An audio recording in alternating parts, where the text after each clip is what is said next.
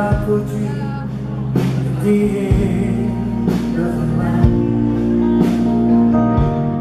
How it breaks my heart to cause you this pain.